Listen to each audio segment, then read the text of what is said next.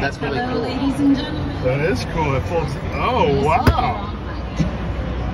And so, What? yeah. Then what? Like, is that for eating? Yeah, it's good for eating. Yeah. And you can also put a laptop.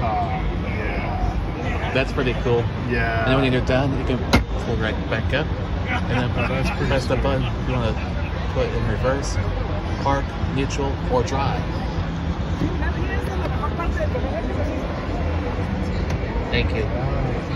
Thank you, sir. Yeah.